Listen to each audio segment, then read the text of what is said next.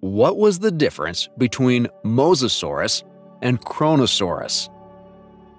Have you ever wondered which giant sea monster was the bigger, brawnier beast, Mosasaurus or Kronosaurus?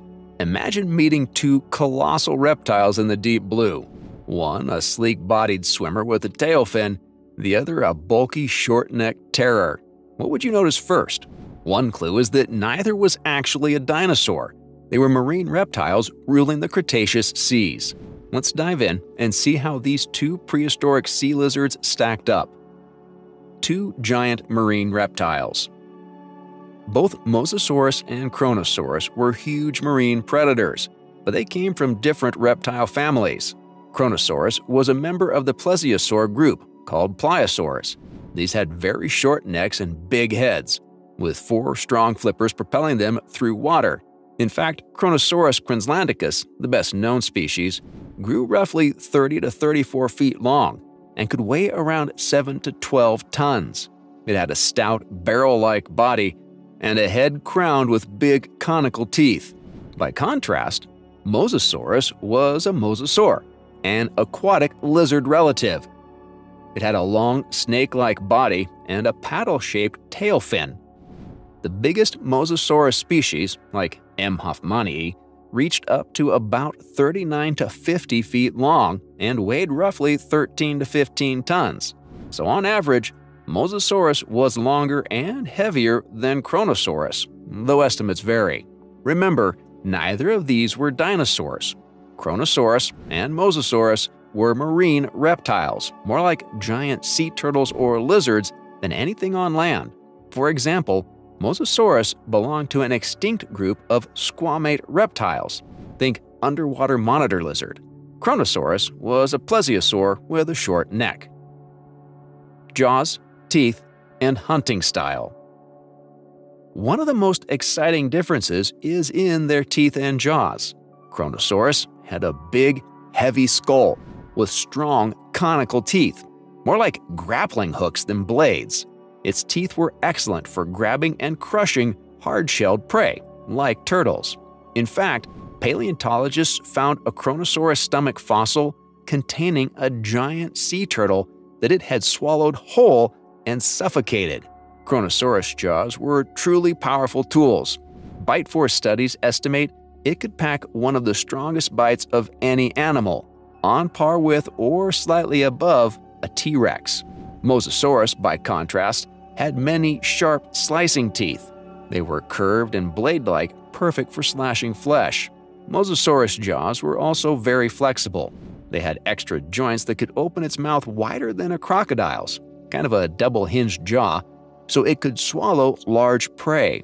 A typical Mosasaurus might grab a fish or turtle in its jaws and shake or slice it. Its bite force was powerful, but not quite as bone crushing strong as Kronosaurus's.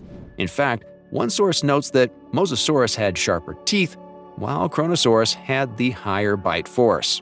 The shape of the head is telling too. Kronosaurus's skull was short and stubby, almost like a giant rock with teeth. Mosasaurus's skull was longer and more tapered, resembling a crocodile snout with extra length. This gave Mosasaurus a bit more reach to snap at prey. Combined with the tail fin and muscular body, Mosasaurus could accelerate and lunge at prey in open water, whereas Kronosaurus may have relied on crushing power in perhaps somewhat shallower or more restricted waters. Habitat and time. Even their homes in the Cretaceous seas were different. Kronosaurus fossils have been found mainly in the Great Artesian Basin of Australia and a few in Colombia.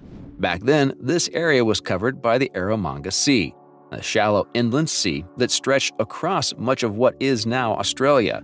The water there was relatively shallow and surprisingly quite cool, almost near freezing in parts. Kronosaurus was the apex predator of those murky waters. It swam among ammonite scallop reefs, cephalopods, fish, and even other plesiosaurs, preying on turtles and plesiosaur necks, as we saw in fossils. Mosasaurus, in contrast, lived in wide open oceans and seaways around the world. Its fossils have been found on every continent except, so far, Australia. During the late Cretaceous, there were big seaways like the Western Interior Seaway in North America the Tethys Sea between continents, and vast Atlantic waters. Mosasaurus turned up in all of them. This means it experienced a variety of climates from tropical to cooler waters. It coexisted with other mosasaurs, sharks, turtles, and early seabirds. Unlike Kronosaurus, which hunted mainly the waters of one region, Mosasaurus was a truly global hunter. Time-wise, they were separated by millions of years. Kronosaurus prowled in the Aptian-Albian stages, about 125 to 100 million years ago. Mosasaurs didn't show up until the Campanian and Maastrichtian, about 82 to 66 million years ago. That's like living in different chapters of Earth's history book. When Kronosaurus was alive, dinosaurs like Iguanodon and Spinosaurids roamed the land nearby. By the time Mosasaurus swam around, dinosaurs like Tyrannosaurus and Triceratops were walking on land. Diet and lifestyle. What did these big mega predators eat? Both were carnivores, but their menus had some differences. Kronosaurus seems to have loved soft-bodied and shellfish prey. The fossils above tell a story. One Kronosaurus specimen had a whole big turtle in its stomach. Another fossil, an elasmosaurid plesiosaur, had Kronosaurus bite marks on its neck bones, suggesting Kronosaurus hunted long-necked plesiosaurs and bit through their necks. In short, turtles, ammonites, and other plesiosaurs were on the menu. Its powerful neck and jaws likely allowed it to grab moving prey from below. Kronosaurus might have been a bit like a crocodile of the sea, possibly sneaking up from beneath or ambushing fish and other reptiles. Interestingly, evidence even suggests that Kronosaurus adults might have attacked juveniles of its own kind, cannibalism, since a smaller Kronosaurus skull showed big bite wounds from another Kronosaurus. Yikes! Family feuds. Mosasaurus had a wider menu. With its larger range and powerful slicing teeth, it could eat almost anything in the water. Fossils indicate it likely ate bony fish, sharks, squid, cephalopods, sea turtles, and even other mosasaurs. One fossil even shows it eating a plesiosaur calovectes. Mosasaurus likely hunted near the surface and in open water, lunging after prey like a giant water lizard. In some places where a Mosasaurus arrived, like in North America's western interior seaway, the whole ecosystem seems to have shifted around it. That's how top predator it was. It even competed with other big mosasaurs like Tylosaurus and Prognathodon, but they likely ate different things so they could all survive together. As hunters, they each had strengths. Kronosaurus was likely a slow-burn ambush predator using brute force and surprise attack. Think big head slamming down on prey. Mosasaurus might have been more agile and intelligent, capable of chasing fast prey and ambushing near the surface. In fact, some scientists suggest Mosasaurus was quite smart for a reptile, able to outthink prey, whereas Kronosaurus relied on sheer size and power. What was the difference between Mosasaurus and Kronosaurus? When we think about Kronosaurus and Mosasaurus, it's tempting to lump them together as giant sea monsters.